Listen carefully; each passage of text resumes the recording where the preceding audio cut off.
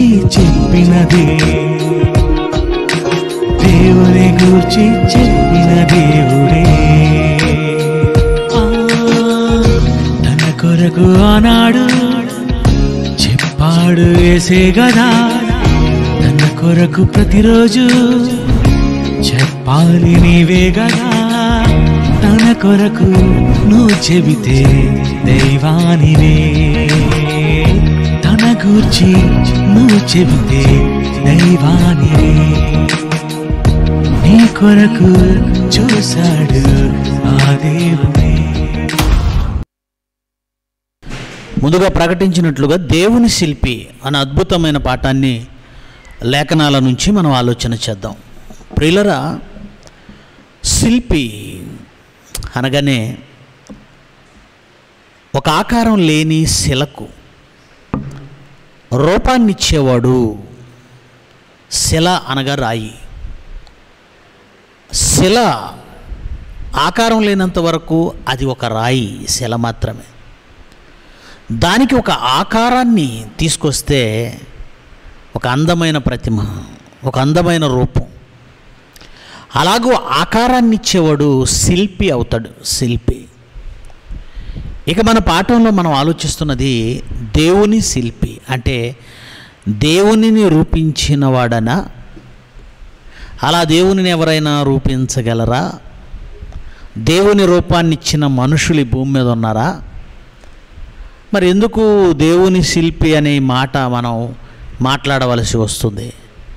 లేక దేవుని శిల్పిగా ఈ ప్రపంచంలో ఇంకా ఎవరైనా ఉన్నారా? అదే ఈరోజు మనం తెలుసుకోవాల్సింది.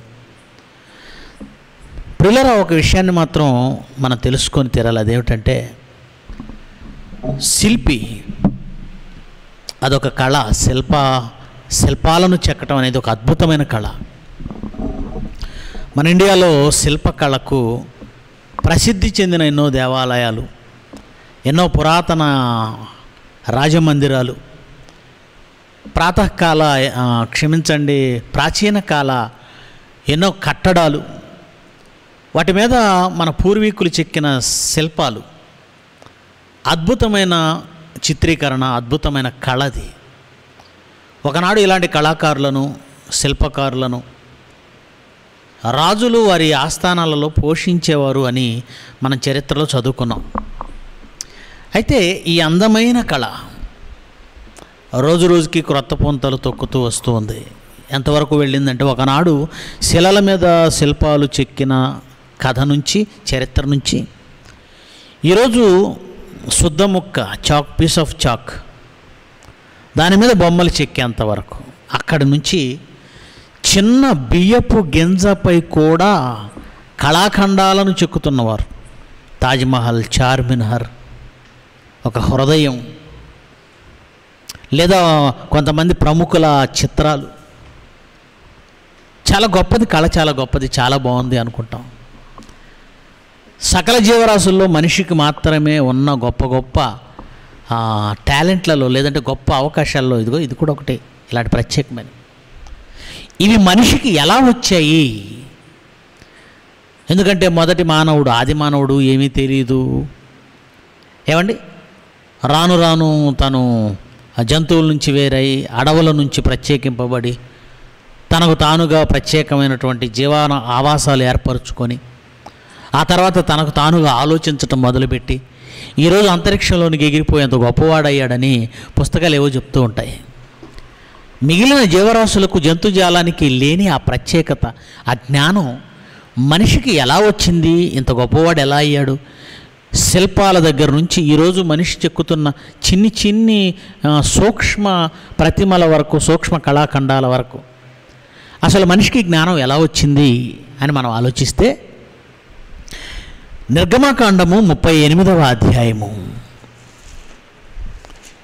ప్రపంచంలో కళలు అనేవి హస్తకళలు అనేవి ఎలా వచ్చాయో బైబిల్ చెప్పింది. చరిత్ర ఇది నిజమైన చరిత్ర. ఎందుకంటే చేతి వృత్తులు లేదంటే చేతి కళలు హస్తకళలు అని పిల్లలకు పాఠ్యపుస్తకాల్లో చెప్తూ ఉంటారు. కొమ్మరిత కొండలు చేయడం తర్వాత నేయడం బట్టలు నేయడం ఆ తర్వాత బట్ట బుట్టా పని బంగారపు పని చేయటం ఆ తర్వాత ఈ శిల్పాలు చెక్కటం ఆ తర్వాత ఏమంటే రకరకాలు ఇలాంటి చేతి వృత్తులు ఈ ఈ హస్తకళలు ఎక్కడివి అంటే చరిత్రలో సరైన సమాధానం లేదు. కానీ దేవుడు చెబుతున్నాడు చూడండి ముప్పయో వచనం. ముప్పై ఐదో అధ్యాయం నిర్గమకాండం ముప్పై ఐదో అధ్యాయము ముప్పై వచనం నుంచి. నిర్గమకాండం ముప్పై ఐదో అధ్యాయం ముప్పై వచనం నుంచి. మరియు మోషే ఇస్రాయేలీలతో ఇట్లా నేను. చూడుడి యహోవా ఊరు కుమారుడును హూరు మనవడునునైన బెసలేలును పేరు పెట్టి పిలిచి జాగ్రత్తగా ఉండండి చరిత్రలో ఒక మనిషికి మాత్రమే ప్రకృతిలో మనిషికి మాత్రమే ఈ కళలు ఎలా అబ్బాయి ఎలా వచ్చాయి ఏవో కహానీలు చరిత్ర పుస్తకాలు ఏవో కథలు శాస్త్రవేత్తలు చెబుతారు. అవన్నీ తప్పు. ఎలా వచ్చేది చెప్తున్నాడు చూడండి. యహోవా ఊరు మనవ ఊరు కుమారుడును హూరు మనవడును అయిన బెసలేలును పేరు పెట్టి పిలిచి విచిత్రమైన పనులను కల్పించుటకు బంగారంతోను వెండితోను ఇత్తడితోను పనిచేయుటకు రత్నములను సానబెట్టి పొదుగుటకు చెక్కుటకు విచిత్రమైన పనులన్నింటిని చేయుటకు వారికి ప్రజ్ఞా వివేక జ్ఞానములు కలుగునట్లు వారికి ప్రజ్ఞా వివేక జ్ఞానములు కలుగునట్లు దేవుని ఆత్మతో వాణ్ణి నింపి ఉన్నాడు మనిషికి జ్ఞానం ఎలా వచ్చిందంటే ప్రజ్ఞా వివేక జ్ఞానములు కలుగునట్లు దేవుని ఆత్మతో బెసలేలనే ఒక వ్యక్తిని దేవుడు నింపాడు. అంటే ఈ ప్రకృతిలో సకల జీవరాశుల కంటే మనిషికే ఎక్కువ బుద్ధి నేర్పాడని మృగముల కంటే భూజంతువుల కంటే మనుషులకి ఎక్కువ జ్ఞానం నేర్పాడని. అందులో ఈ కళలున్నాయే హస్తకళలు.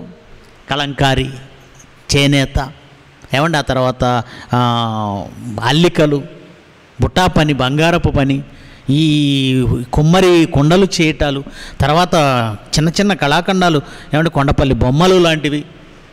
చేతి వృత్తులు లాంటివి ఇవన్నీ ఎలా వచ్చాయంటే ప్రజ్ఞా వివేకములు ప్రజ్ఞా వివేక జ్ఞానములు కలుగునట్లు దేవుని ఆత్మతో మనుషులను దేవుడు నింపాడు.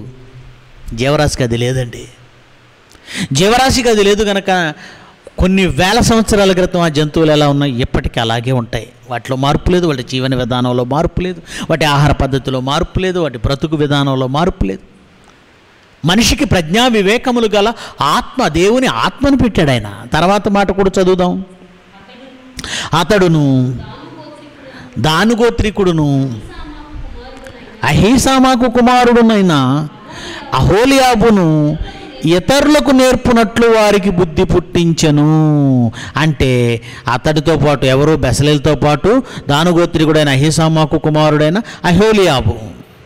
వీళ్ళిద్దరికీ జ్ఞానాన్ని ఇచ్చాడు ఇచ్చిన తర్వాత ఈ జ్ఞానాన్ని అందరికీ నేర్పేటట్లుగా వాళ్ళకి బుద్ధి పుట్టించాడట.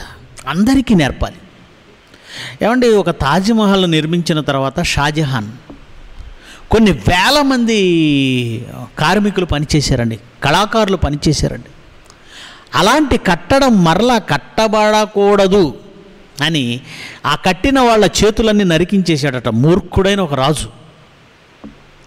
అంటే అలాంటి కళాఖండాన్ని మరలా కట్టాలి అంటే వాళ్ళకి చేతులు లేకపోతే సరిపోతుంది అనుకున్నాడు.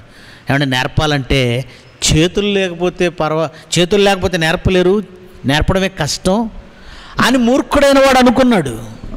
బుద్ధి కావాలి మాట కావాలి ఆలోచన కావాలి ఆ జ్ఞానాన్ని మరొకరికి నేర్పడానికి. ఒక రాజులా సంకుచితంగా ఆలోచించలేదండి దేవుడు.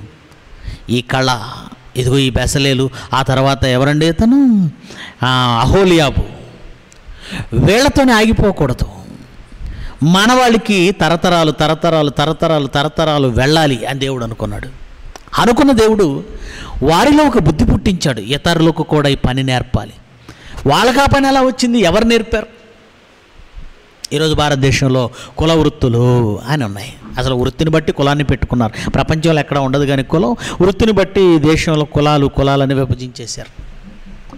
ఏమన్నా మీరు ఎలా ఎక్కడ నేర్చుకున్నారండి ఇంత చక్కగా కొండపల్లి బొమ్మలు చేస్తున్నారు? అని మా ప్రాజెక్ట్ వర్క్లో బిఎడ్ చేసేటప్పుడు నేను ప్రాజెక్ట్ వర్క్లో కొండపల్లి వెళ్ళి అడిగానండి. వాళ్ళు వివరంగా చెప్పుకుంటూ వచ్చే తెల్ల పునికి నల్ల పునికి అనే ఒక కర్రను తీసుకొస్తాం. రంపపు పొట్టును చింతపండు గింజలను ఉడకబెట్టి వచ్చిన పేస్ట్ రంపపు పొట్టు కలిపి ఆ చెక్కిన బొమ్మలకు చక్కగా పోస్తాం. ఎండబెట్టిన తర్వాత వాటి జస్ట్ పాలిష్ కొడతాం. ఆ తర్వాత చక్కగా రంగులు వేస్తాం. మొత్తం వివరంగా చెప్పేశారు. ఈ కళ ఎక్కడి నుంచి నేర్చుకున్నారంటే మా నాన్న నుంచి. అంటే నువ్వు మీ నాన్న నుంచి నేర్చుకు మీ నాన్న ఎక్కడ? ఎక్కడ నేర్చుకున్నాడు? అంతకుముందు వా వాళ్ళ నాన్న. అలా తరాలు వెనక్కి వెళితే ఎక్కడికి వెళ్ళాలి మనుషులు అంటే ఎవరో ఒకరి దగ్గర నుంచి అది వచ్చింది. ఆ ఒక్కడికి ఎలా వచ్చింది ఆ కళ? అంటే దేవుడు ప్రజ్ఞ వివేక జ్ఞానములు కలిగిన ఆత్మను మనుషులలో ఉంచి వాళ్ళకు వచ్చిన ఆ పనిని ఇతరులకు కూడా నేర్పేలాగా వాళ్ళకు మనసులో బుద్ధి పుట్టించాడు.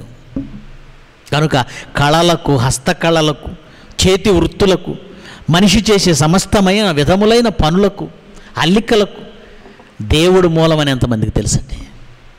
దేవుడు మూలం ఎంత అని ఎంతమందికి తెలుసు? అందుకే బ్రతికిచ్చిన దేవుడు బ్రతకడం నేర్పలేదు అనే పాఠంలో ఇది చెప్తాను నేను. బ్రతికిచ్చేసాడండి నారు పోసిన వాడు నీరు పోయాడా అని సింపుల్గా మాట్లాడుతూ ఉంటారు మన వాళ్ళు రెండోది ఏంటంటే బ్రతికించాడండి దేవుడు బ్రతికిచ్చాడండి ఆ తర్వాత మనిషి బ్రతకడం నేర్చుకున్నాడని చాలామంది అనుకుంటారు. బ్రతికిచ్చిన దేవుడు నీకు బ్రతుకు నేర్పకుండా వదిలేయలేదు. ఎలా బ్రతకాలో వ్యవసాయం నేర్పాడు ఆదాముకి? కుట్టు పని నేర్పాడు వాళ్ళకి వస్త్రాలు కుట్టించాడు. ఇప్పుడు సమస్తమైన కళలు ప్రజ్ఞ వివేక జ్ఞానములు కలిగిన ఆత్మను మనుషులలో పెట్టి ఆ మనుషుల నుంచి విద్య తర్వాత తరాలకు వెళ్ళేలా దేవుడు శ్రద్ధ తీసుకున్నాడంటే అవసరమా అంటే అవసరమే. ఎందుకంటే ఆ తర్వాత ఒక దేవాలయాన్ని కట్టబోతున్నాడు. ఒక దేవాలయాన్ని కట్టబోతున్నాడు సలోమను. ఆ తర్వాత ఒక మందసాన్ని కట్టబోతున్నాడు. అందులో ఎన్నో ఉపకరణాలు చేయాలి. అందులో ఎన్నో రూపాలు చెక్కాలి. అందులో ఎన్నో వస్తువులను చేయాలి. అందులో ఎన్నో అల్లికలు ఉంటాయి. ఎఫోదు చేయాలా? లేదంటే బలిపీఠం కొమ్ములు చేయాలా? వాటికి రింగులు చేయాలా? లేదంటే తెర చేయాలా? లేదంటే ఏమండి ఆ గంగాళం చేయాలా? సముద్రం చేయాలా? లేదంటే ఏమండి ఏడు కొమ్మలతో ఉన్న ఆ ఒలివ దే దూప దీపం దీపస్తంభం చేయాలా? దుపార్తి గిన్నెలు చేయాలా? ప్రజ్ఞా వివేకములు జ్ఞానము కల ఆత్మను పెట్టాడు. అందులోనే రకరకాల పనులు రకరకాల వృత్తులు అందులోనే ఒకటి శిల్పకళ. శిల్పకళ. ఇలా మానవ జాతికి దేవుడు తన పని నిమిత్తం తన పని నిమిత్తం తన ఆలయాన్ని ఆలయంలో ఉన్న ఉపకరణాలను ఆ రూపాలను చేయడానికి ప్రజ్ఞా వివేక జ్ఞానములు మనిషికి అనుగ్రహిస్తే ఆ తర్వాత తర్వాత తర్వాత తర్వాత కాలంలో మనుషులు ఎలా మారిపోయారో మనుషులు ఎలా అయిపోయారో లేఖనాలలోనికి వెళ్ళి కొన్ని సంగతులు చూద్దామండి. చాలా విచారకరం. లేఖనాల్లోనికి వెళ్ళి కొన్ని సంగతులు చూద్దాం. అపోస్తుల కార్యాలు అపోస్తుల కార్యాలు పంతొమ్మిదవ అధ్యాయము. అపోస్తుల కార్యాలు పంతొమ్మిదవ అధ్యాయము ఇరవై మూడు నుంచి చదువుదాం. అపోస్తుల కార్యాలు పంతొమ్మిదవ అధ్యాయము ఇరవై మూడు నుంచి చదువుదాం. అపోస్తుల కార్యాలు పంతొమ్మిది ఇరవై మూడు. ఆ కాలమందు క్రీస్తు మార్గము గూర్చి చాలా అల్లరి కలిగెను. ఎలా అనగా దేమేత్రి అను ఒక కంసాలి. కంసాలి అంటే మీకు తెలుసు కదండి? వెండితో బంగారంతో రూపాలను చేసేవాడు. ఒక రకంగా ఒక రూపాలను ప్ర ఏమంటే కళాకారుడు ఇతను కూడా శిల్పకారుడు అనుకోవచ్చు. మరి బంగారంతో చేస్తున్నాడు కనుక కంసాలి. రాయితో చేస్తే శిల్ప శిల్పకారుడు. ఏం చేస్తున్నాడు? దేవుడిచ్చిన జ్ఞానం సుమండిది. ప్రజ్ఞా వివేక జ్ఞానములు కలిగిన ఆత్మను ఒకనాడు ఉంచాడు. ఆ జ్ఞానము మనుషులకు ఒకరి నుంచి ఒకరికి ఒకరి నుంచి ఒకరికి ఒకరి నుంచి ఒకరికి వెళ్ళిపోయింది. అలా దేవుని నుంచి జ్ఞానం తెచ్చుకున్నవాడు ఏం చేస్తున్నాడంటే అర్తిమీదేవికి వెండి గుళ్ళను చేయించుట వలన అన్నాడు. ఏం చేస్తున్నాడట వెండి గుళ్ళను గుడి గుడి చేస్తున్నాడట. గుడిని చెక్కుతున్నారట గుడిని తయారు చేస్తున్నారట. అర్తిమీదేవికి వెండి గుడి వెండితో గుడి కంసాలి వెండి గుడి. దేవునికి గుడి.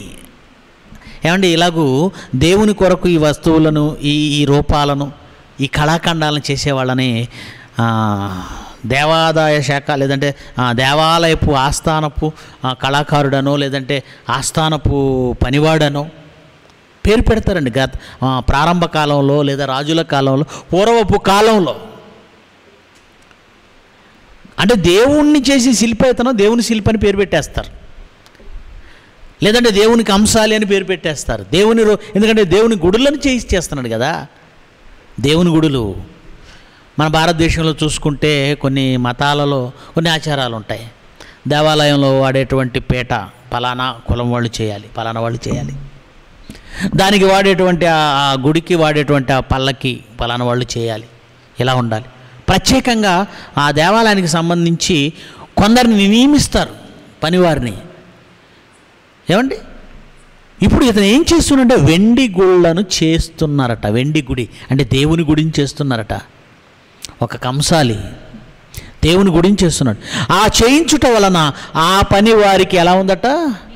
మిగుల లాభము కలుగజేయుచున్నది. మిగుల లాభం అంటే దేవుని కొరకు గొడులను చేసి వ్యాపారం చేసే పరిస్థితుల్లో ఆ రోజు వెళ్ళిపోయారు. దేవుడు ఒకనాడు తన కొరకు దేవాలయం కట్టడానికి ప్రజ్ఞా వివేక జ్ఞానములు కలిగిన ఆత్మను వారిలో పెట్టాడు. తన కొరకు ఆలయాన్ని గుడిని కట్టడానికి ఏ ప్రజ్ఞా వివేక జ్ఞానములు కల ఆత్మను పెట్టాడో గుడిని కడుతున్నారు. దేని కొరకు? ఎవరికి? సర్వాన్ని సృష్టించిన దేవునికి కాదు. అతిమీ దేవి కట్ట. మనుషులలో మనుషులుగా ఉండి బ్రతికి చనిపోయిన వారు కొందరిని దేవుళ్ళుగా దేవతలుగా పెట్టుకుంటే మనుషులు ఊహించుకున్న రూపాలలో కొందరిని దేవుళ్ళు దేవతలని ఊహించుకొని కథలు రాసుకున్న కథలలో ఉన్న పాత్రలను దేవుళ్ళుగా దేవతలుగా పూజించేవాళ్ళు ప్రపంచంలో చాలామంది ఉన్నారు. ఎందుకంటే దేవుడు అన్న పదానికి ఒక అవగాహన లేదంటే ఒక అర్థం ఒక నిర్వచనం. దానికి కొలమానం దేవుడు అంటే ఎవరిని దేవుడు అనాలి? దేవుడు అనడానికి ఒక కొలమానం ఏంటి? ఇది తెలియని వాళ్ళు తాము అనుకున్న ప్రతిదాన్ని దేవుడు దేవుడు దేవుడు దేవుడు అనుకుంటూ ముందుకు వెళుతున్నారు. ఏమండి తమిళనాడు. ముఖ్యంగా చెప్పాల్సింది ఏంటంటే తమిళనాడు గురించి. తమిళనాడులో ఉన్నంత మూఢభక్తి ప్ర- మరి ఈ దేశంలో ఇంకెక్కడ ఉండదేమోనండి. ఎందుకంటే ఎంత మూర్ఖులు ఎంత అజ్ఞానులు అంటే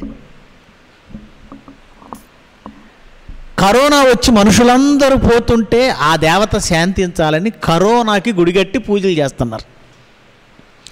ఏంటి వైరస్ ఇది? ఆ వైరస్కి కరోనా దేవత అని పేరు పెట్టి గుడి కట్టి పూజలు చేస్తున్నారు తమిళనాడులో.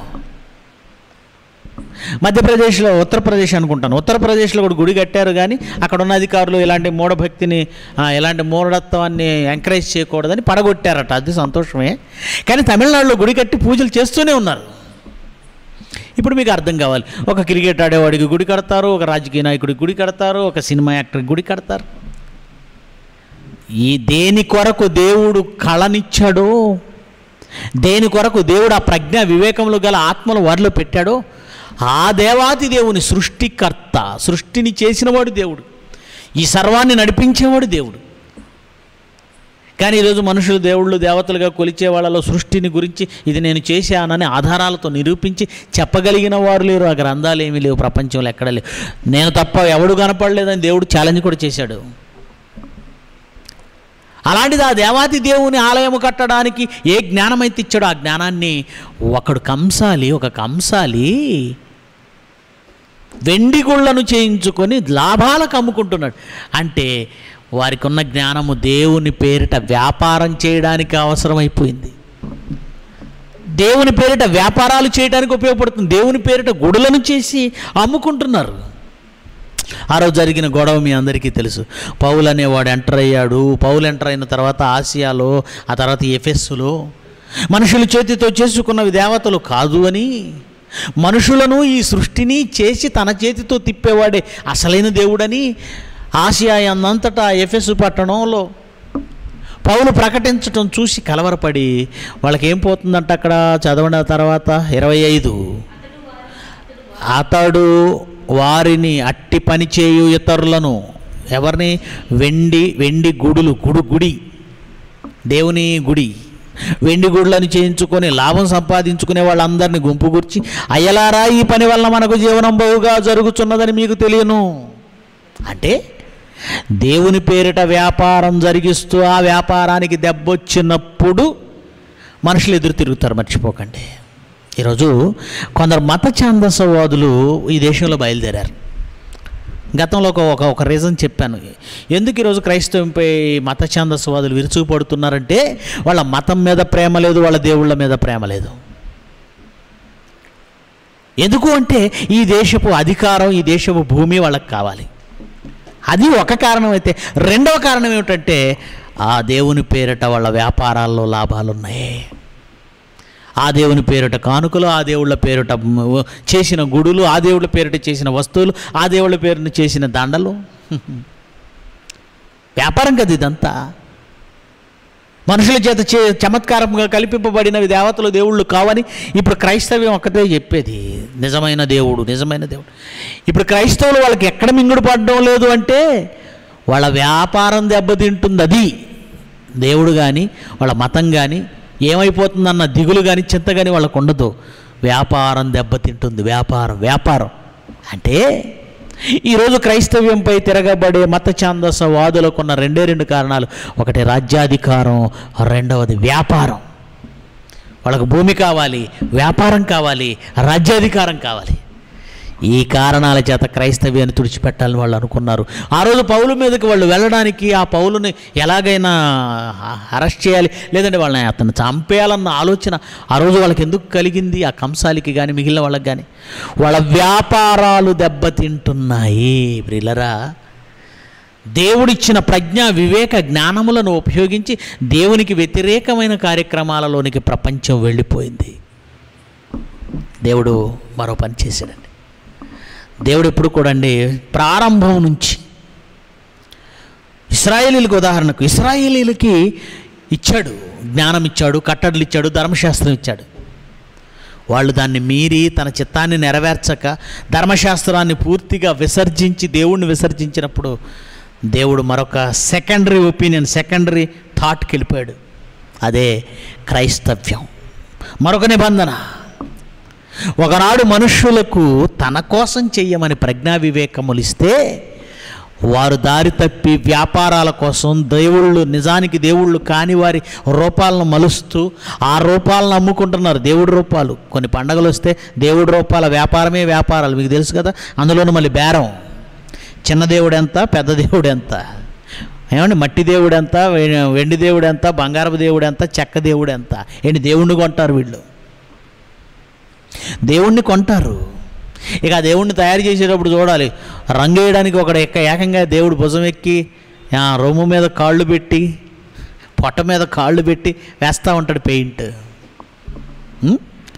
అలాగూ దేవుని విగ్రహాలు దేవుని గుడులు చేసుకొని అమ్ముకునే పరిస్థితికి దిగజారారు గనక. దేవుడు తన ఆలయాన్ని కట్టడానికి ఆ జ్ఞానము మార్చాడండి. తన పని మార్చాడు. ఆ జ్ఞానమును మరొకరికి ఇచ్చాడు. మీరు కట్టండి నా ఆలయం అన్నాడు. ఒకనాడు నిర్గమకాండములో మోషేతో చెబుతూ తన ఆలయములు తన ఆలయంలో ఉన్న ఉపకరణములను చేయడానికి మనుషులకు ప్రజ్ఞా వివేక జ్ఞానములున్న ఆత్మనిచ్చిన దేవుడు వాళ్ళు ఆ పని చేశారు చేయలేదు పక్కన పెడితే దేవుణ్ణి విసర్జించే లాభం కోసం దేవుళ్ళు కాని వాళ్ళ జో- దగ్గరికి వెళ్ళిపోయారు. అందుకే తన కొరకు దేవుని శిల్పులను మరికొంతమందిని ఏర్పరచుకున్నాడు. వాళ్ళు ఏం చేస్తారు? అవును నిజంగా వాళ్ళు దేవుణ్ణి చేస్తారు దేవుణ్ణి చెక్కుతారు. వాళ్ళు నిజంగా దేవాలయాన్ని చెక్కుతారు దేవాలయాన్ని సృష్టిస్తారు. ఏమండి దుష్ట మూవీ చేస్తున్నాం కదండి? ఆర్ట్ డైరెక్టర్ అని ఉంటారండి ఆర్ట్ డైరెక్టర్. సినిమాలో ఏదైనా సెట్టింగ్ వేయాలంటే సెట్ ప్రాపర్టీ ఆర్ట్ డైరెక్టర్స్. మొత్తం వాళ్ళే సెట్ చేస్తారు. వీళ్ళల్లో శిల్పకళ తెలిసిన వాళ్ళు బొమ్మలు చెక్కటం తెలిసిన వాళ్ళు కూడా ఉంటారండి. ఎందుకంటే ఒక సెట్టింగ్ వేయాలి అంటే కావలసిన రూపాన్ని వాళ్ళు చెక్కుతారు. కొన్ని రాళ్ళతో చెక్కవచ్చు లేదా కొన్ని ధర్మకోల్ షీట్స్తో చేయొచ్చు కొన్ని ఏమంటే ఫైబర్తో చేయొచ్చు. ఏమండి? కొన్ని గడ్డి పదార్థాలతో చేస్తారు రకరకాల అట్ట ముక్కలతో చేస్తారు కార్డ్బోర్డులతో చేస్తారు. కానీ వాళ్ళు కళాకారులు. మరి ఒక సినిమాకు సంబంధించిన ఆర్ట్ డైరెక్టర్ ఒక ఆయన కేసీఆర్ గారు మరి ఒక దేవాలయానికి రూపం ఇవ్వడానికి తీసుకెళ్ళాడు అది మనకు తెలుసు. ప్రేమైన దేవుని పిల్లలరా ఇలాగ ఒక ఆకారాన్ని ఇవ్వాలంటే ఖచ్చితంగా అందులో శిల్పకారులు కళాకారులు ఉండాలి. దేవుడు కూడా తన ఆలయాన్ని మళ్ళీ కట్టించాలనుకున్నాడు. తన ఆలయాన్ని కట్టించడానికి అవసరమైన శిల్పకారులను తన రూపం చెక్కడానికి అలాగే తన ఆలయ రూపం చెక్కడానికి శిల్పకారులను ఏర్పరచుకున్నాడు. ఎవరు ఆ శిల్పకారుడు? ఎవరా శిల్పి? దేవుని శిల్పి. నిజమైన దేవుని శిల్పి ఎవరు? అని మీరు లేఖనాల్లోనికి వెళ్ళి చూడగలిగితే కొరంధీలకు రాసిన మొదటి పత్రిక కొరిందీలకు రాసిన మొదటి పత్రిక మూడవ అధ్యాయము మూడవ అధ్యాయం పదే వచనం నుంచి చదువుదాం. దేవుడు నాకు అనుగ్రహించిన కృప చొప్పున పౌలు మాట్లాడుతూ సంఘానికి రాస్తూ అంటున్నాడు దేవుడు నాకు అనుగ్రహించిన కృప చొప్పున ఒకనాడు బెసలేలుకి ఏమండి?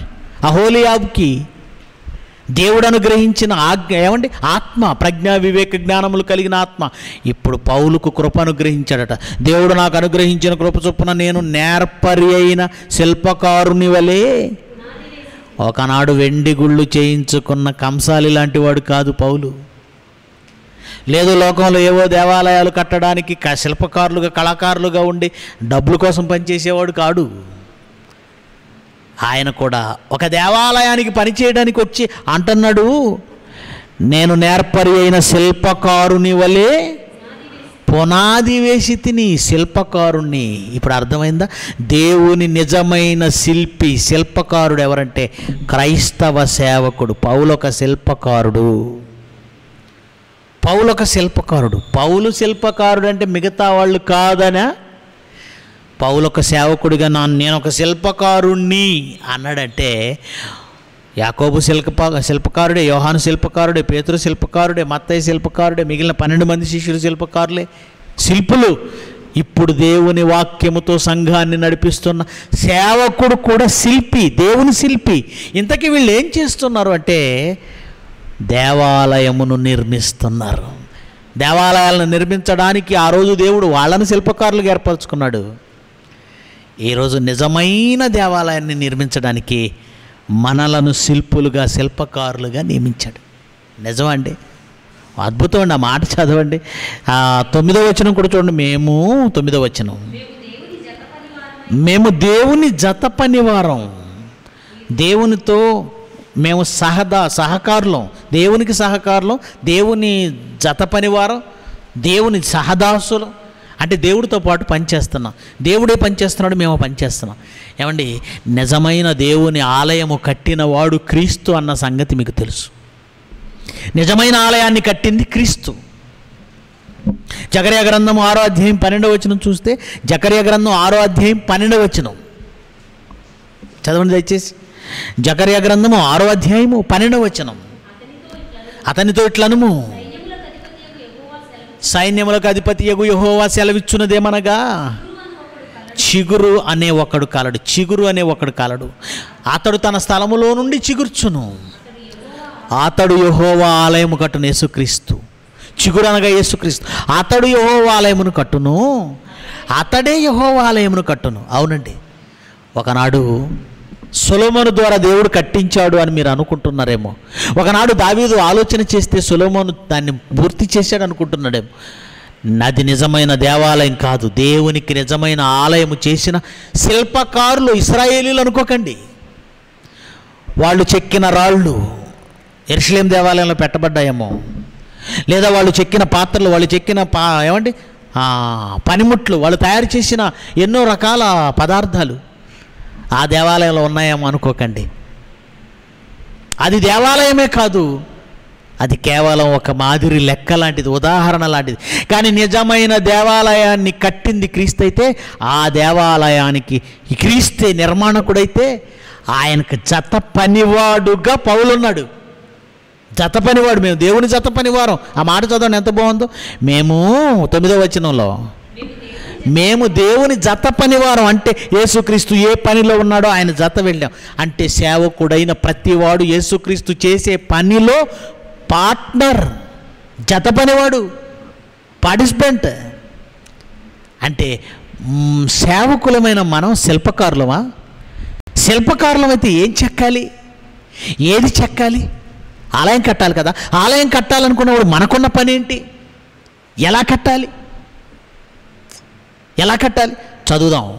ఆ శిల్పకారుడు దేవుని శిల్పకారుడు సేవకుడైతే దేవుని శిల్పి సేవకుడైతే ఆ శిల్పి ఎలాగూ దేవుని పని చేయాలో ప్రజ్ఞా వివేకములు కలిగిన పరిశుద్ధాత్మను మనలో ఉంచాడు. దేవుని వాక్యం మన ముందుంచాడు. దానితో నాయన వెండిగుళ్ళు చేయించిన ఏమంటే ఆ కంసాలు ఉన్నాడే ఏం పేరు వాడి పేరు? దెమెత్రి అనే కంసాలి. అలాగ మీరు వ్యాపారం చేయొద్దు నాయన. నా కోసం మీరు కూడా గుడిని కట్టండి. నా కోసం నా రూపాలను మీరు చెక్కాలి.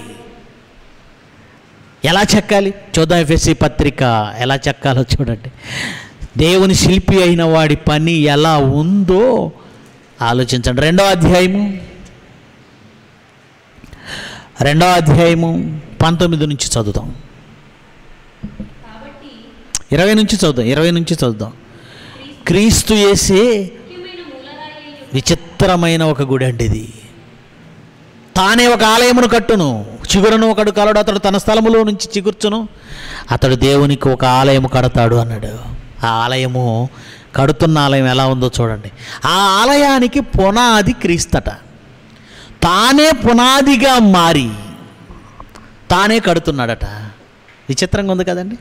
పునాది రాయి ఆయనే కట్టేది కూడా ఆయనే. పునాది రాయి క్రీస్తు క్రీస్తు అనే పునాది. ప్రారంభంలో జయశాలి గారి దగ్గరికి వాక్యం నేర్చుకుంటున్న తొలినాళ్ళలో అంటే నిజంగా తొలి సంవత్సరమే ఎంత ఎంత జ్ఞానం మాకు అర్థమైపోయింది. ప్రపంచంలో ఇంకెక్కడ లేదు ఈ జ్ఞానం. బైబిల్ బైబిల్ బైబిల్ బైబిల్ తినేసేవాళ్ళం అండి బైబిల్ మొదటి సంవత్సరమే. అన్ని నిజాలు వాస్తవాలు తెలిసిపోయాయి. ఒక ఇంటికి ఏమండి శంకుస్థాపన అంటే వెళ్ళామండి. పునాదులు తీశారు. ఇప్పట్లాగా పిల్లర్స్ కాకుండా పునాదులు తీశారు. అందులో రాళ్ళు వేయాలి. పక్కింటి ఒక పాస్టర్ గారిని పిలిచారు వాళ్ళ ఇంటి వాళ్ళు. ఆ మొదటి రాయి అందులో వేసి ప్రార్థన చేశాడు. ప్రార్థన చేసి ఇంటి ఆవిడతో అంటున్నాడు అమ్మా ఆ బండ క్రీస్తే అంటున్నాడు. ఏ బండ? తీసిన పునాది గోతిలో వేసిన మొదటి రాయి ఉందే ఆ బండ క్రీస్తట. ఆయన నీ ఇంటికి పునాది రాయి అన్నాడా? దేవుని ఇంటికి పునాది రాయి అన్నాడా? ఎవరింటికి పునాదిరాయి క్రీస్తు? ఏ ఆలయానికి పునాదిరాయి అయినా కనబడిన ఏమంటే ఒకవేళ కనబడిన ప్రతి రాయి క్రీస్తు అయితే మరి మొక్కటంలో తప్పే ఉంది? మనం హైందవ సోదరులు ఎందుకు అనాలి? బండ క్రీస్తా? రోడ్డు మీద కనబడే బ- బండలు క్రీస్తా?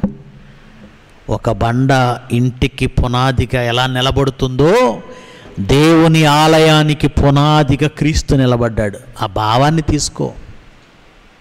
తానే పునాది రాయి అందుకేమన్నాడు? చదవండి మాట. క్రీస్తు చేసే ముఖ్యమైన మూలరాయి అయి ఉండగా అపోస్తలులు. ఎందుకంటే జత పనివారు కదా. ఈ శిల్పులు వస్తారు. ఒక దేవాలయం కట్టాలని ఖచ్చితంగా శిల్పులు ఉండాలండి. ఆ రాళ్ళే ఆకారంలో చెక్కాలో ఎలాంటి ఆకారం చెక్కితే బాగుంటుంది. ఎందుకంటే గోడ గోడ గోడకి గోడ గోడకి రకరకాల రూపాలు ఇవ్వాలి కదంటే మీరు ఇప్పటికీ పురాతనమైన పురావస్తు ప్రదర్శనశాలలకు కానీ లేదంటే కొన్ని కొన్ని రకాల ఏమండి పురాతన కట్టడాలకు వెళితే ఆ రాళ్ళు పేర్చిని పేర్చినట్టే ఉంటాయి కానీ ఆ రూపం ఒకటి చెక్కు ఉంటుంది ఆ స్తంభానికి.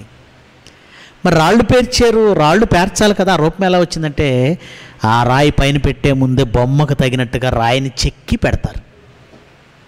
కింద రాయి ఏ ఆకారంలో ఉండాలో ఆ ఆకారం చెక్కుతారు. పై రాయి ఏ ఆకారంలో ఉండాలో ఆ ఆకారం చెక్కుతారు. మధ్య రాళ్ళు ఎలా ఉండాలో ఆ ఆకారం చెక్కుతారు. టోటల్గా అవన్నీ నిలబెడితే ఒక మనిషి నిలబెట్టినట్టు ఉంటుంది ఆకారం.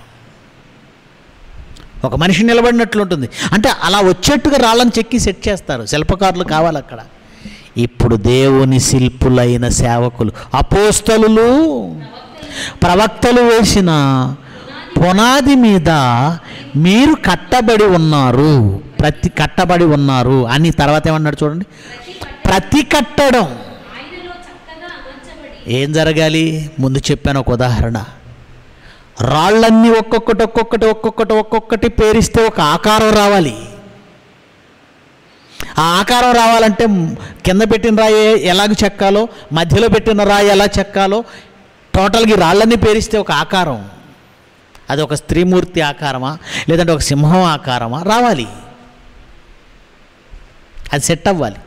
అందుకే ప్రతి కట్టడము ఆయనలో చక్కగా అమర్చబడి అన్నాడు. క్రీస్తు పునాది అయితే ప్రతి కట్టడము ఆయనలో చక్కగా అమర్చబడాలి ఆయన పునాది అయితే కట్టడం అమర్చబడ్డం ఏంటి? ప్రతి కట్టడం అమర్చబడ్డం ఏంటి? ఇది ఆలోచించాలి. ఎందుకంటే దేవుని మాటలు ఆలోచించుకుంటేనే ఏ విషయమైనా అర్థమవుతుంది. ఏమంటే ఒక ఒక ఒక భవనం లేదంటే ఒక ఒక ఒక ఆలయం ఒక కట్టడం ఎలా వస్తుంది? పునాది వేసిన తర్వాత ఆ పునాది మీద ఒక్కొక్క రాయి ఒక్కొక్క రాయి ఒక్కొక్క రాయి పేర్చాలి. ఉదాహరణకు ఒక తాపీ మేస్త్రి గోడ కడుతున్నాడు అనుకోండి పునాది వేస్తారు. పునాది వేసిన తర్వాత ఈ చివరి నుంచి ఈ చివరికి ఒక దారంతో కొలత తీసుకొని ఇటుక రాళ్ళు పేర్చుకుంటూ వస్తాడు. లేదంటే హైలబ్రిక్స్ రాళ్ళు పేర్చుకుంటూ వస్తాడు. ఈ రాళ్ళు పేర్చుకుంటూ లైన్ చూసుకుంటూ వస్తుంటే మధ్య ఆ చివరికి వచ్చేసరికి అండి ఆ పిల్లర్కి ఈ పెట్టిన రాయికి మధ్య ఖాళీ తక్కువ ఉంటుంది. చాలా చిన్నది ఉంటుంది. ఒక్కొక్క రాయి ఒక్కొక్క రాయి ఒక్కొక్క రాయి సిమెంట్ రాళ్ళు పేర్చుకుంటూ వచ్చాడు కదా. ఈ పిల్లర్ చివరి పిల్లర్ దగ్గరికి వచ్చేసరికి ఈ పెట్టిన రాయికి ఆ పిల్లర్కి మధ్య ఖాళీ కొద్దిగా ఉంటుంది. అప్పుడు ఏం చేస్తాడంటే ఆ పనివాడు ఎంతవరకు సెట్ అవుతుందో అంతవరకు కొట్టేస్తాడు. విరక్కొడతాడు అలా విరగగొట్టకపోతే రాయి అక్కడ సెట్ అవ్వదు. ప్రతి కట్టడము ఆయనలో చక్కగా అంటే ఉన్న ఖాళీని బట్టి ఆ రాయిని పగలగొట్టాలి ఆకారాన్ని చెక్కాలి. అది ఇటుకు రాయి కావచ్చు మరో రాయి కావచ్చు. అలాగే కట్టడాలకు పెట్టే శిల్పాలు తయారు చేసే వాళ్ళు అయితే దానికి తగినట్టుగానే వాళ్ళు పేర్చుకుంటూ వెళ్తారు. చక్కగా అమర్చబడాలి. ఒకవేళ ఆ రాయి వంకర ఉందనుకోండి దాన్ని చెక్కుతాడు. ఆ రాయి వంకర ఉంటే చెక్కుతాడు. తెలుసా? చెక్కాలి. ప్రిలరా ఇంతకీ మనుషులు కట్టే కట్టడాల్లో రాళ్ళు ఉపయోగిస్తారు రైటే. మరి యేసుక్రీస్తు చెబుతున్న దేవాలయం అనే ఆ కట్టడం ఆయన కడుతున్నాడు. ఆయనతో పాటు శిల్పకారులుగా సేవకులు పనిచేస్తున్నారు. నేర్పరియని శిల్పకారులుగా. మరి వాళ్ళ రాళ్ళేవి? ఇంతకీ ఈ శిల్పకారులు చెక్కే రాళ్ళేవి? క్రీస్తు అనే పునాది మీద ఒక్కొక్కటి ఒక్కొక్కటి పేర్చే రాళ్ళేవి? ఏ రాళ్ళను వాళ్ళు చెక్కాలి? శిల్పులను ఎందుకన్నాడు? ఇంతకీ ఏ రాళ్ళను చెక్కుతున్నారు వాళ్ళు? క్రీస్తుని చెక్కలేరు వాళ్ళు. ఎందుకంటే ఆల్రెడీ క్రీస్తు ఒక చక్కటి మూలరాయి అమూల్యమైన రాయిగా ఉన్నాడు. మరి దాని మీద ఉన్న రాళ్ళు ఏ రాళ్ళు? చూద్దామా? పేతురు గారు వ్రాసిన పేతురు గారు వ్రాసిన మొదటి పత్రిక రెండవ అధ్యాయము నాలుగవ వచనం నుంచి చదువుదాం. పేతురుగారు వ్రాసిన రెండవ పత్రిక నా క్షమించండి. మొదటి పత్రిక రెండవ అధ్యాయము నాలుగవ వచనం. మనుష్యుల చేత విసర్జించబడినను. దేవుని దృష్టికి ఏర్పరచబడినది అమూల్యమును సజీవమును అయిన రాయగు ప్రభువునొద్దకు మీరు వచ్చారు అన్నాడు. మనుషుల చేత విసర్జింపబడింది. ఏ రాయి? అమూల్యమైందట మూలకు తలరాయి అయిందట. ఏ రాయి ఇది? యేసుక్రీస్తు అను సజీవమైన రాయి. మనుషుల చేత విసర్జించబడిందా? అవునండి. కట్టడానికి పనికిరాదు. ఇది కట్టడంలో పనికిరాదు అని మనుషులు విసర్జించారట. ఎవరా మనుషులు? ఎవరా ఇల్లు కట్టినవారు? ఇల్లు కట్టువారు నిషేధించిన రాయి మూలకు తలరాయి. అదే ఏడో వచనంలో చెప్పాడు చివరి ఆ ఏడో వచనం కూడా చదవండి రెండో మాట. ఇల్లు కట్టువారు ఏ రాతిని నిషేధించనో అదే మూలకు తలరాయి. ఇంతకీ ఇల్లు కట్టేవాళ్ళు ఎవరో తెలుసా ఆ రోజు? ఆ రోజు ఇల్లు కట్టిన వారు ఎవరో తెలుసా? ఇది ఇలాగే ఉంచండి ఒకసారి మీకు ఇన్ఫర్మేషన్ బాగుంటుందని ఇస్తున్నాను. అపోస్తుల కార్యాలకు వెళదాం. ఈ ఇల్లు కట్టేవారు ఎవరో మీకు అర్థమవుతుంది. ఇల్లు కట్టేవారు నిషేధించిన రాయి అన్నాడు కదా. ఇంతకీ ఈ ఈ ఇల్లు కట్టేవాళ్ళు ఎవరో చూడండి. అపోస్తుల కార్యాలు. నాలుగవ అధ్యాయము పదకొండవ వచనం. అపస్తుల కార్యాలు నాలుగో అధ్యాయం పదకొండవ వచనం. ఆ పేతురు గారు ఎవరితో మాట్లాడుతూ అంటున్నాడు ఇల్లు కట్టువారైన మీరు అన్నాడు. అమ్మయ్య ఇక్కడ ఎవరు ఇల్లు కట్టేవారు దొరికారు. ఇల్లు కట్టువారైన మీరు తృణీకరించిన రాయి ఆ ఇల్లు కట్టేవాళ్ళు ఏ ఇల్లు కట్టేవాళ్ళు? ఇల్లు ఇల్లు ఆ ఇల్లు ఇల్లు కట్టేవాళ్ళు కాదు. అమూల్యమైన ప్రభు అను రాయిని తృణీకరించిన ఆ ఇల్లు కట్టేవాళ్ళు వీళ్ళనట. ఇల్లు కట్టువారైన మీరు తృణీకరించిన రాయి? ఆయనే అంటే మనం మాట్లాడుకుంటున్న ప్రభు అయిన సజీవమైన రాయిని తృణీకరించిన ఆ పనికి మాలిన ఇల్లు కట్టేవాళ్ళు దొరికారు ఇక్కడ. ఏమండి ఒక మంచి పనివాడైతే రాయి మంచి రాయి ఏదో చెడ్డ రాయి ఏదో ఈజీగా పట్టేస్తాడు. ఏమండి ఇలా కొట్టగానే ఇది పగిలిపోద్దండి. ఇది కొట్టి టంగ్ టంగ్ సౌండ్ని బట్టి చాలా స్ట్రాంగ్ రాయండి. చెప్పేస్తారు. ఇల్లు కట్టేవారే నిషేధించారట. ఇంతకే వాళ్ళు ఎవరు అని కాస్త పైకి వెళితే చూడండి వాళ్ళు ఎవరు ఇంతకీ ఎవరితో మాట్లాడుతున్నాడు? ఆరో వచనం ఐదో వచనం. వారి అధికారులు పెద్దలు శాస్త్రులు యాజకులు అక్కడ ఉన్నవాళ్ళు యాజకులు ఉన్నారు పెద్దలు ఉన్నారు అధికారులు ఉన్నారు శాస్త్రులు ఉన్నారు వాళ్ళతో మాట్లాడుతూ ఇల్లు కట్టువారైన మీరు అన్నాడు. దేవుని సంఘమనే ఇల్లును ఒకనాడు కట్టమని ఆ రోజు అధికారులకు పెద్దలకు శాస్త్రులకి అది యాజకులకు పరిచయాలు అప్పచెబితే ఆ మూర్ఖులైన పనివారు అమూల్యమైన ఒక రాయిని నిషేధించారు వదిలేశారు తృణీకరించారు. ఇల్లు కట్టువారు నిషేధించిన ఆ రాయే మూలకేమైంది? తలరాయి ఇప్పుడు పేతురుగారు అన్న మాట దగ్గరికి రండి. పేతురుగారు అన్న మాట నాలుగో వచ్చిన రెండో అధ్యాయం నాలుగో వచ్చినాం మనుషుల చేత విసర్జింపబడినను. దేవుని దృష్టికి ఏర్పరచబడినది అమూల్యమును సజీవమును అయిన రాయకు ప్రభువు నొద్దకు వచ్చిన వారై ప్రభువుని దగ్గరికి రావాలి. ఆ రాయి దగ్గరికి మీరు రావాలట. అమూల్యమైన రాయి దగ్గరికి మీరు రావాలట. ఎందుకు? చదవండి ఎందుకో. యేసుక్రీస్తు ద్వారా దేవునికి అనుకూలమునకు ఆత్మ సంబంధమైన బలులు అర్పించుటకు పరిశుద్ధ యాజకులుగా ఉండునట్లు మీరును యేసుక్రీస్తు రాయి పునాది రాయి అమూల్యమైన రాయి అని అనుకుంటున్నారు. ఆయన మాత్రమే కాదు మీరును సజీవమైన రాళ్ళ వలె ఉండి ఆత్మ సంబంధమైన మందిరముగా ప్రభువునొద్దకు మీరు ఎందుకు వచ్చారట? మీరు కూడా రాయి. మీరు రాయి. ఆ రాళ్ళను తీసుకొచ్చి పునాది రాయి మీద పెట్టాలి కదా. గోడ అవ్వాలంటే పునాది ఒకటి ఉంటే కుదరదు కదా. ఆ పునాది మీద రాయి రాయి రాయి రాయి రాయి పేర్చుకుంటూ రావాలి. అందుకే మీరును సజీవమైన రాళ్ళ వలె ఉండే ఆత్మ సంబంధమైన మందిరముగా ఇంతకీ ఆ మందిరాన్ని కట్టుచున్నది ఎవరో తెలుసా? సేవకులు. సేవకులు నేర్పరి అయిన శిల్పకారుని వలె నేను ఆ ఆలయానికి పునాది వేశాను. ఎవరా శిల్పకారుడు? దేవుని ఆలయమునకు శిల్పకారుడిగా ఒక పౌలున్నాడు ఒక పేతురు ఉన్నాడు ఒక యోహాన్ ఉన్నాడు ఒక యాకోబు ఉన్నాడు ఈరోజు ఒక జైశాలి పీడి సుందరరావు గారు ఒక సేవకుడు ఉన్నాడు నేనున్నాను మీలో సేవకులైన వారు ఉన్నారు శిల్పకారులు ఏం చేస్తారు ఈ శిల్పకారులు? వీళ్ళ పని చెప్పనా? ముందు చదువుకున్నారు ఎఫ్ఎస్సి పత్రికలో ప్రతి కట్టడము ఆయనలో చక్కగా అమర్చబడాలి. అలా చక్కగా అమర్చబడడానికి ఒకవేళ సెట్ అవ్వకపోతే ఒక ఎగ్జాంపుల్ చెప్తాను. చాలామంది టైల్స్ వేస్తూ ఉంటారు. ఈ కార్నర్ నుంచి మొదలు పెడతాడు ఒక కార్నర్ నుంచి మొదలు పెడతాడు.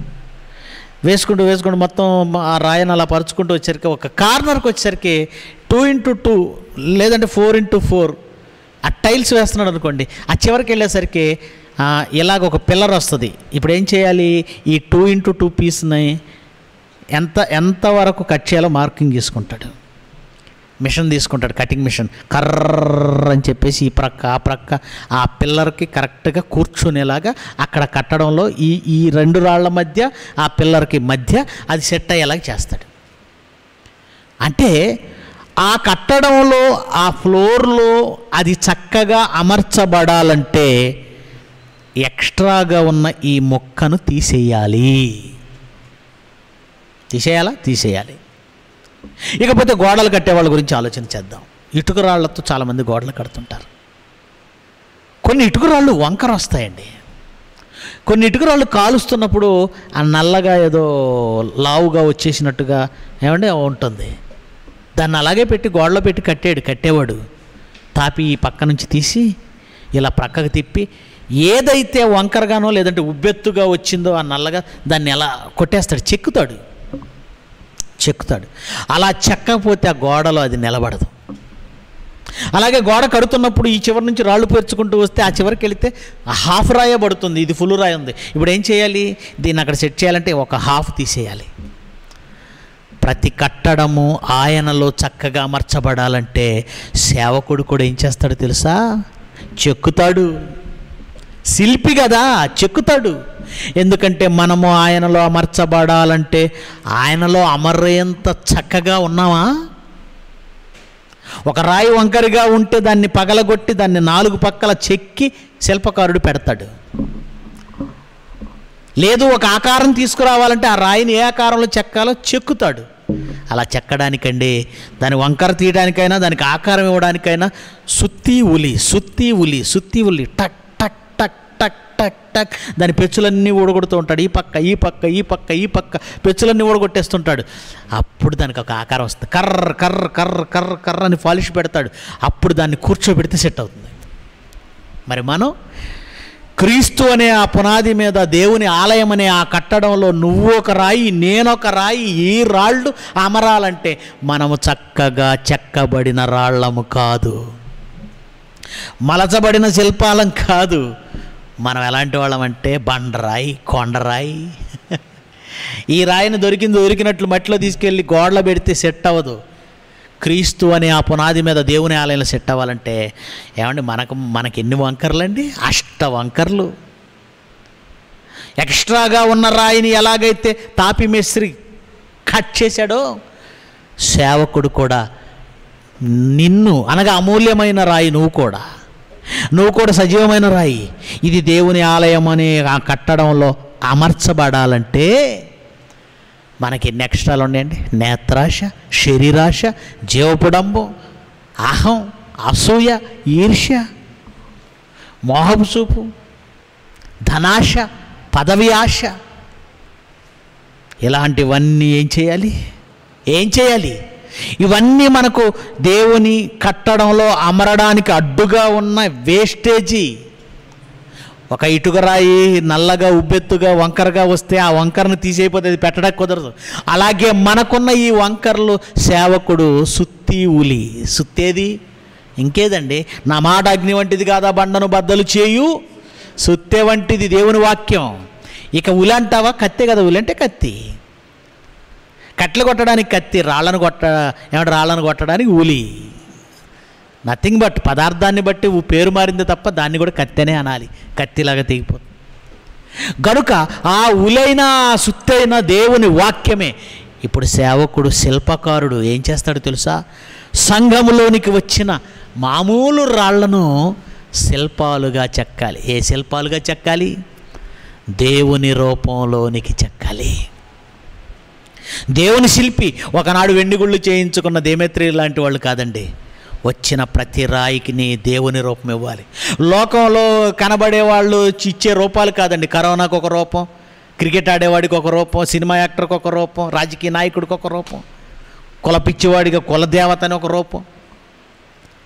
కాదు ఇవ్వవలసిన రూపం ఒకటి క్రీస్తు రూపం. ప్రతివానిలో క్రీస్తు రూపము ప్రతివాని అందు ఏర్పడి వరకు నాకు మరలా ప్రసవ వేదన. గలతి పత్రిక నాలుగో అధ్యాయం ఏ రూపం ఏర్పడాలి? ఈ శిల్పకారుడు ఏ రూపం రావాలనుకుంటున్నాడు చూడండి. గలతి పత్రిక నాలుగో అధ్యాయం పంతొమ్మిదో వచ్చిన గలతి పత్రిక నాలుగు పంతొమ్మిది ఆ. నా పిల్లలారా? ఈ శిల్పకారుడు శిల్పకారుడు అన్నాడు కదా కొరింతి పత్రికలో? ఈ శిల్పకారుడు ఏ రూపం చెక్కుతున్నాడో చూడండి. నా పిల్లలారా క్రీస్తు స్వరూపము మీ అందు ఏర్పడు వరకు మీ విషయమై మరల నాకు ప్రసవ వేదన మరల నాకు ప్రసవ వేదన మరల నాకు ప్రసవ వేదన. అంటే ప్రతి మనిషిలో క్రీస్తు రూపం చెక్కే శిల్పి సేవకుడు. ఈ మొండిరాళ్ళు బండరాళ్ళు మనం ఎవరండి బొండిరాళ్ళు బండరాళ్ళు. ఎంత కొట్టినా మారం ఎంత చెక్కినా మారం ఏమండి? దేవాలయం అని సంఘంలోనికి నువ్వు వస్తే సేవకుడు వాక్యమని సుత్తిని దేవుని లేఖనములు అనే ఉలిని పట్టుకొని నిన్ను చెక్కుతూ ఉంటాడు. ఏమండి? సుత్తి దెబ్బ ఉలి దెబ్బ తగిలితే చెక్కల లేచిపోతుంది చూసారా రాయికి? ఒకవేళ రాయికి మాట నోటి మాట ఇస్తే అబ్బా అంటది. అంతే కదండి? దేవుడు మాటిస్తే ఎందుకంటే పదార్థానికి జ్ఞాపక శక్తి ఉంది మర్చిపోకండి. గోడలలోని రాళ్ళు మొర్రపెట్టుచున్నాయంటే అది నీకు ఎందుకు వినపడటం లేదు? నీకు వినబడే స్వరం ఇవ్వలేదు. దేవుడికి వినబడే స్వరం ఇచ్చాడు. ఒకవేళ శిల్పి చెక్కుతున్నప్పుడు రాయికి దేవుడు స్వరం ఇచ్చాడు అనుకోండి గాడిదికి ఇచ్చినట్టు. అబ్బా అబ్బా అబ్బా అని బాధపడుతుందండి. రాయి ఎవరు అనుకుంటున్నారు? దేవదూత. దేవదూత నన్ను చెక్కొద్దు సుత్తితో కొట్టొద్దు ఉలితో కొట్టొద్దు అని రాయి అంటే ఆ రాయి ఆ కట్టడంలో అమర్చబడ్డానికి కుదరదు. ఆ దేవాలయంలో దాని రూపం పెట్టాలి. పెట్టాలంటే సుత్తి ఉలి దెబ్బలు పడాలి. దాన్ని చెక్కాలి దాని గాయాలు అవ్వాలి అప్పుడు అది రూపుదిద్దుకుంటేనే ఆ దేవాలయంలో ఒక కట్టడంగా నిలిచిపోద్ది. నాకు ఈ దెబ్బలు వద్దు అందనుకోండి. అది రాయిగా ఊరి బయట పడేస్తారు పక్కన పడేస్తారు. సంఘంలోనికి వచ్చిన ప్రతివాడు వచ్చినప్పుడు ఏ ఆకారం లేని మామూలు రాయి సేవకుడు వాక్యంతో ఒక్కొక్క దెబ్బ కొడుతుంటే మారిపోవాలండి. చాలామంది అంటుంటారు అని ఆ సంఘానికి వెళ్ళబుద్ధి కావటం లేదు. ఏం బాబు? ఎందుకు వెళ్ళబుద్ధి కావట్లేదండి? అన్నయ్య మమ్మల్ని టార్గెట్ చేసి వాక్యాలు చెప్తున్నాడు అనిపిస్తుంది. నేరుగా మాకే తగులుతున్నాయి. మమ్మల్ని టార్గెట్ చేశాడు మా గురించే చెప్తున్నాడు. సేవకుడు ఎవరయ్యా? శిల్పి. ఈ మాట అంటున్న వాళ్ళకి దేవుని మాట అర్థం కాలేదు. శిల్పి అది కత్తి సుత్తి.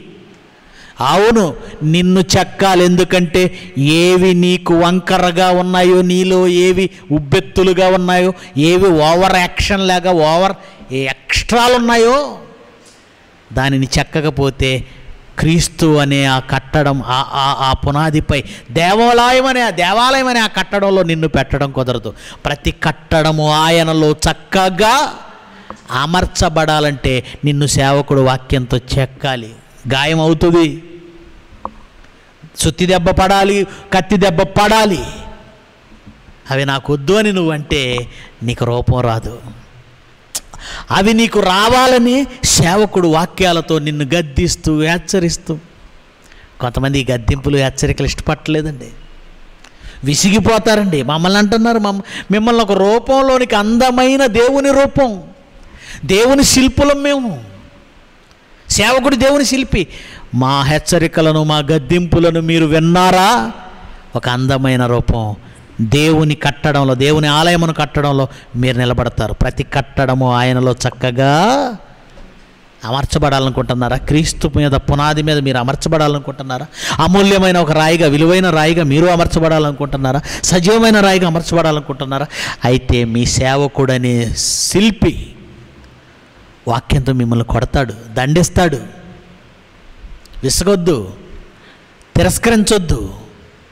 గద్దెంపుకు తిరస్కరించొద్దు. విసుకొద్దు ఒకవేళ అలా విసిగారా మీ రూపాన్ని మీరు కోల్పోతారు. దేవుని శిల్పతను ఆకారాన్ని ఇస్తాడు మీకు. ప్రేమైన దేవుని పిల్లలారా ఎలాగూ దేవుని ఆకారంలోనికి మనుషులను చెక్కుతున్న వారందరూ మనుషులకు దేవుని ఆకారాన్ని ఇస్తున్నది అందరూ క్రీస్తు స్వరపు మీలో మీ అందు ఏర్పడాలి. మీరందరూ ఒక దేవునికి ఆలయం కావాలి. ఈరోజు ఎంతమంది ఉన్నారండి అలాగా? చివరిగా చివరిగా కొలసి పత్రిక. దేవుని శిల్పులకు దేవుడిచ్చిన ఘనత చూడండి ఎలా ఉందో కొలసి పత్రిక మొదటి అధ్యాయము. ఇరవై ఎనిమిది కొలసి పత్రిక మొదటి అధ్యాయము. ఇరవై ఎనిమిది ప్రతి మనుష్యుని క్రీస్తునందు సంపూర్ణునిగా చేసి ఆయన ఎదుట నిలువబెట్టవలెనని. ఎలా అనుకుంటున్నాడు అండి పౌలు? ప్రతి మనిషిని క్రీస్తు రూపం పూర్తిగా సంపూర్ణం ఇచ్చేయాలి. క్రీస్తు రూపం సంపూర్ణంగా ఇచ్చేయాలి పూర్తిగా ఇచ్చేయాలి. ఏ సేవకుడు అండి ఈరోజు అలా ఆలోచిస్తున్నాడు. ఎవ్వరలేరండి ఒక మాట అనకూడదు సంఘాన్ని. మా పాస్టర్ గారు ఏమన్నాడండి? ఎంత మంచోడో అనుకుంటారు. ఏమనడం లేదంటే మంచోడని పాప సంఘస్థులు అనుకుంటున్నారు. ఈరోజు మనం ఒక వ్యక్తిలో లోపాన్ని చూస్తే చెప్పాలి. అది వంకరది. సరి చేసుకోవాలంటే నేను వాక్యంతో చేయాలి సేవకుడు చెప్పాలి శిల్పి చెప్పాలి. ఆ వంకర నేను కొడతావులే అని వదిలేశాడు అనుకోండి శిల్పం బాగోదు. ఏమండి? శిల్పం బాగోదు. ప్రేమ దేవుని పిల్లల సందర్భంగా ఒక చిన్న ఉదాహరణ చెప్తాను. ఆర్మూరు అనే ప్రాంతంలో అండి నిజామాబాద్ జిల్లా ఆర్మూరు. పచ్చాల నడకూడ అని ఒక గ్రామం ఉందండి. అక్కడ అంబేద్కర్ గారి విగ్రహం పెట్టారండి. ఏకశిలా విగ్రహం. కొన్ని సంవత్సరాల క్రితం ఒక పది సంవత్సరాల క్రితం ఆ ప్రాంతానికి వెళ్ళానండి నేను. అది ఎలా ఉంది అంటే విచిత్రంగా అనిపించింది. చెయ్యేమో ఇంత లావున ఉంది మెడ ఏమో ఇంత లావున ఉంది సరిగ్గా చెక్కలేదు. ఏంటండి ఆ విగ్రహాన్ని పూర్తిగా సరిగా చెక్కలేదు మెడలా వదిలేశారు? తలా మెడ అంతా ఒకేలా కలిసిపోయింది తాబేల్లాగా కనపడుతుంది. చేయి చూస్తేనే వేళ్ళు అవన్నీ చక్కగా ఆకారం లేదు ఇంత లావునేదో బోధ బోధ చేయించినట్టుంది ఏంటండి అని అడిగితే దాని స్టోరీ చెప్పారండి. ఏమండి ఇక్కడ ఊర్లో ఉన్న వాళ్ళంతా యూత్ అంతా చందాలు వేసుకొని ఒక విలువైన రాయి తీసుకొని వెళ్ళి ఒక శిల్పికి ఇచ్చారండి ఫలానా రోజు ప్రతిష్టని పెట్టుకున్న తర్వాత నాలుగు రోజులు వారం రోజుల ముందు నాలుగు రోజుల ముందు వెళ్ళారట వెళ్ళేసరికి ఆ సేవకుడు ఆ- శిల్పి ఆ శిల్పి అన్నాడట మీరు రెండు రోజులు ఆగి రండి అన్నాడట రెండు రోజులు ఆగి వెళితే ఇంత మెడ ఎంత లావు మేడ ఈ చెయ్యి అలాగే ఉంచాడు ఏమిటయ్యా మేము ఇంత విలువైన రాయి తీసుకొచ్చిస్తే ఎలా చెక్కామంటే దండం పెట్టి అయ్యా మీరు మొన్న వచ్చినప్పుడు వాస్తవానికి నా దగ్గర రాయి లేదు అని. ఏ ఏమైంది? ఆ రోజు కొత్తది కొనుక్కొచ్చాను. మేము ఇచ్చాం కదా ఎందుకు కొనుక్కొచ్చావు? మీరు ఇచ్చింది నేను అంత చెక్కాను బాగుంది. మెడ దగ్గరికి వచ్చి చెక్కుతుంటే విరిగిపోయింది. అంటే ఆ రాయిలో కనబడకుండా ఎక్కడో క్రాక్ ఉంది. రాళ్ళు సెలెక్ట్ చేసుకునేటప్పుడు చాలా జాగ్రత్తగా క్రాక్లు ఉన్నాయి లేదు సెలెక్ట్ చేసుకుంటారు. చూసుకోవాలి. కానీ వీళ్ళు ఇచ్చిన రాయిలో ఎక్కడో క్రాక్ ఉంది మెడ దగ్గర చెక్కుతుంటే విరిగిపోయింది. ఇప్పుడు వాళ్ళు వచ్చేస్తారు నాలుగు రోజులు ఏం చేయాలి? ఇలా విరిగిపోయింది అని అంటే వాళ్ళు ఒప్పుకోరు. అందుకని పాపం చచ్చి ఆయన డబ్బులు పెట్టి ఇంకో రాయిది ఇచ్చాడు. తెచ్చి ఆ చేతి దగ్గరికి వచ్చి చెక్కుదాం అనేసరికి ఆయనకు భయం వేసింది ఇది కూడా అలాగే విరుగుతుందేమో అని చెక్కకుండా ఆ పై పైన చెక్కేసి చెయ్యంత లావును ఉండేట్టుగా వదిలేశాడు. మెడ దగ్గరికి వచ్చేసి ఎక్కడ ఇది విరిగిపోతే మళ్ళీ ఇంకో లక్ష రూపాయలు పెట్టి నేను ఎక్కడ తేనని? దాన్ని కూడా సరిగా చెక్కకుండా నాయన ఇలాగే తీసుకెళ్ళండి అంటే అలాగే తీసుకొచ్చారు. ఒకనాడేమో అమూల్యమైన రాయి యేసుక్రీస్తు పనివాళ్ళు వదిలేశారు పనికిరాదని. ఇక్కడ పనివాడు చక్కకు వదిలేశాడు. ఇది మీరు ఆలోచిస్తే నువ్వు మంచి అమూల్యమైన రాయివా? మంచి అమూల్యమైన రాయివేనా? అయితే సేవకుడు నిన్ను ఒక శిల్పిల అద్భుతమైన రూపం ఇస్తాడు. ఒకవేళ మీ రాయి నువ్వు క్రాక్ అనుకో శిల్పి అయిన ఆ- ఆ- ఆ సేవకుడు చెక్కే ఆ చెక్కుడు. దానికి తట్టుకోలేక విరిగిపోతావు. నేను రాను సంఘానికంటే. ఏమయ్యా ఎందుకు రావు సంఘానికంటే? లేదు ఇక ఏవో కారణాలు చెప్తుంటాడు. కారణం అది కాదు. సేవకుడు మాట్లాడే ప్రతి మాట తగులుతుంది. ఎందుకు తగులుతుంది? ఆ చెప్పే వాక్యంలో ఉన్న ఆ పాపం తప్పేది ఉందో నీకు నువ్వు చేస్తున్నావు కనుక నీకు తగులుతుంది. ఏమంటే ఇప్పుడు నేను ఉన్నాను నేను దొంగను కాదు. దొంగతనం చేయకు దొంగతనం చేస్తే నరకానికి వెళ్తావు అని సేవకుడు ఎంత ప్రసంగం చేసినా నేను హ్యాపీగా వింటాను. ఎందుకంటే ఆ మాట నన్ను బాధించదు. ఎందుకంటే నేను దొంగను కాదు గనక. నేను వ్యభిచారిని అనుకోండి. నువ్వు వ్యభిచారం చేస్తున్నావు అనగానే నాకు ఎక్కడో రాయి లోపల పడుతుంది. అమ్మో అవును. చూసారా ఒకవేళ సేవకుడు మాట్లాడుతున్న మాట వాక్యం అది. ఆ వాక్యంలో ఉన్న ఒకవేళ పాపం నీలో ఉంటే అది నీకు నచ్చదు. చీకటి సంబంధులట తాము చీకటి సంబంధులమే తమలో పాపం బయటపడకుండా వెలుగును వద్దకు రారటళ్ళు. గనుక సేవకుడు చెబుతున్న మాట నిన్ను చెక్కాలని వద్దంటావా? నన్ను చెక్కొద్దంటావా? అయితే నువ్వు క్రీస్తు రూపం రావయ్యా. క్రీస్తు రూపం రాకపోతే క్రీస్తు దేవాలయంలో దేవుని ఆలయంలో ఉండవయ్యా. ఉండవు. గనుక ప్రియమైన దేవుని పిల్లలారా అమూల్యమైన రాయిగా క్రీస్తు రూపంలోనికి చెక్కబడి దేవుని గుడిగా మలచబడతావా? దేవుని గుడి. అవును. దేమత్రి మలిచే గుడి కాదు. నువ్వు ఒక దేవుని గుడిగా మలచబడాలి. నువ్వు ఒక క్రీస్తు రూపం దేవుని గుడి కావాలి. దేవుని శిల్పిగా పౌలు దేవుని గుడులు తయారు చేసే పనిలో ఉన్నాడు. ఈరోజు బైబిల్ ఓపెన్ యూనివర్సిటీలో ప్రతి క్రైస్ట్ చర్చ్ దేవుని గుడులు తయారు చేసేది. ఇదో ఫ్యాక్టరీ అండి. బిల్డింగ్ ఒక ఫ్యాక్టరీ. అందులో ఏం తయారవుతుంది? ప్రతి వాడిని ఒక గుడిగా చెక్కి పంపిస్తాం. వెండి గుడులు కాదు. బంగారం గుడులు కాదు సజీవమైన రాళ్ళ వలె గుడులు. ప్రతివాడు ఒక గుడి సంగమంతా ఆలయం. శిల్పి చేసే పని శిల్పి చేసే పని. కొన్ని చోట్ల శిల్పులు బాగాలేదండి రాయి మంచిదైన శిల్పి బాగోపోతే రాకారం రాదు. కొన్ని చోట్ల శిల్పి బాగున్న ఈ రాళ్ళు మంచివి కావు. శిల్పి చెక్కుతానంటే వెళ్ళిపోతాయి మీరు అలా ఉన్నారా? వద్దు. సేవకుడు చెప్పే మాటకు తల వంచండి. అద్భుతమైన దేవుని రూపం మీలోకి వస్తుంది. లేకపోతే పనికిరాని రాళ్ళుగా విసర్జించబడతారు. ప్రార్థన చేసుకుందాం. మహోన్నతుడు మా తండ్రి మీ మాట ఉన్నతమైనది గొప్పది. దేవుని శిల్పిగా సేవకుడు ఉన్నాడని ప్రతి రాయిని గుడిగా మలుస్తాడని క్రీస్తు రూపంలోనికి అద్భుతంగా శిల్పంగా మారు మరుస్తాడని మీ లేఖనాలలో వ్రాయబడిన మాటలు మాకు మరింత స్ఫూర్తినిచ్చాయి. అవునాయనా మీకు ఇష్టమైన వారుగా మేము ఉండాలంటే వాక్యం అనే సుత్తి దెబ్బ తినాలి కత్తి దెబ్బ తినాలి. అప్పుడే మారుతాం అప్పుడే రూపం మారుతుంది. మీ పిల్లలు ఈ మంచి మాటలు అంగీకరించే మనస్సు వారికి ఇవ్వండి. మీకోసం ఉన్నతమైన భావజాలాలు కలిగి గొప్పవారిగా మారుటకు అవకాశం ఇవ్వండి.